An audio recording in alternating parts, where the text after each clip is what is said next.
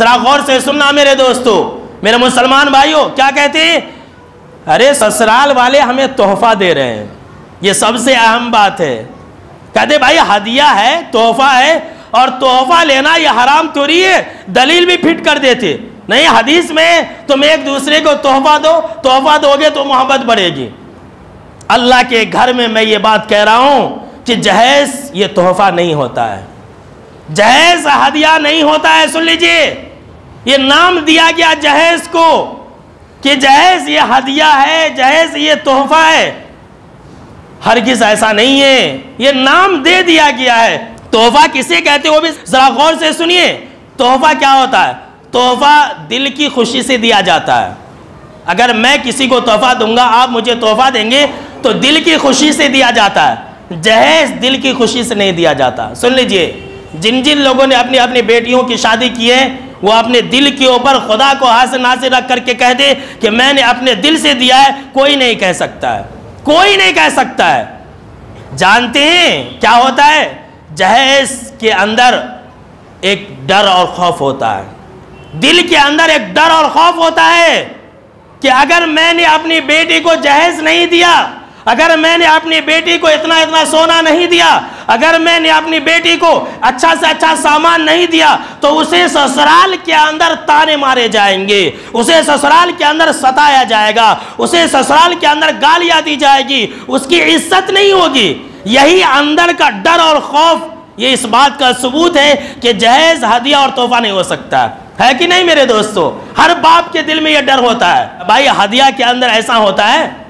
तोहफा के अंदर ऐसा होता है कि इंसान के दिल में डर और खौफ हो, कोई डर और खौफ नहीं होता है, लेकिन जहेज के अंदर इंसान के दिल में डर और खौफ होता है। लिहाजा जहेज भी तोहफा और हदिया नहीं हो सकता है। सुन लीजिए, हदिया और तोहफा के अंदर क्या होता है? सुन लीजिए, हदिया और तोहफा देने और लेने के वक्त में किसी का दबाव नहीं होता है। जहेज के वक्त में यह दबाव होता है। औरतों का दबाव होता है हाँ बेटे का दबाव होता है, ससुराल वालों का दबाव होता है तो फिर हदिया कैसे हुआ? चलिए इससे भी आगे बढ़ते हैं। हदिया और तोहफा देने के वक्त में कोई इंसान ये नहीं सोचता है या ये नहीं कहता है कि भाई देखो, मैंने तुझे तोहफा दे दिया है, अब तुम्हें विरासत में कोई हिस्सा नहीं मिलेगा। ऐसा कोई नहीं कहता। लेकिन बेटी को जब सामान जहेज देते हैं तो ये कह के देते हैं कि देखो, हमने तुझे जहेज दे दिया। है हमने तेरे शोहर को इतना लाख रुपया दे दिया है। हमने तेरी शादी में इतना खर्च कर दिया है। लिहाजा अब तुम्हें हमारे माल में से कुछ नहीं मिलेगा। फिर तोहफा कैसे हुआ? गिफ्ट कैसे हुआ? हदिया कैसे हुआ? कितना बड़ा धोखा देते हैं, देखिए। अच्छा चलिए इससे भी आगे बढ़ जाते हैं। जब इंसान किसी को गिफ्ट देना चाहता है, हदिया देना चाहता है, जरा गौर से सुनिएगा मेरे दोस्तों, कितना बड़ा धोखा दिया जाता है हराम चीज़ को हलाल करने के लिए।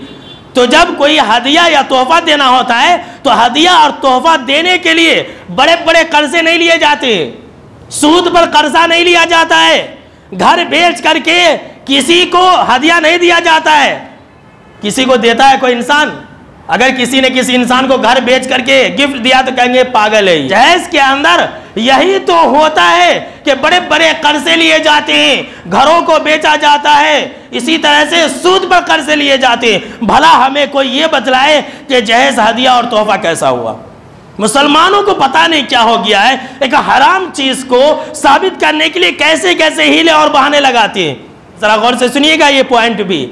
तोहफा और गिफ्ट देने में कोई इंसान फजूल खर्ची नहीं करता।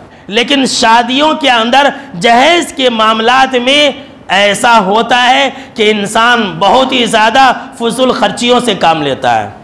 तो जब फजूल खर्ची से काम लेता है तो ये हदिया और तोहफा कैसे हुआ मेरे दोस्तों? पता ये चला कि लोगों ने जो माल हराम है, उसको हलाल करने के लिए ये हीला और बहाना तराश लिया है कि जहेज ये खुशी से दिया जाता है। जहेज ये हमें तोहफा में दिया गया है। सुन लीजिए मेरे दोस्तों जहेज ना ही तोहफा है और ना ही जहेज कोई भी इंसान खुशी से देता है, बल्कि उस जहेज के पीछे एक डर और खौफ होता है कि हमारे बेटे को मारा जाएगा, हमारे बेटे को सताया जाएगा। पता ये चला कि जहेज को तोहफा और हदिया का नाम देना भी जायज़ नहीं है।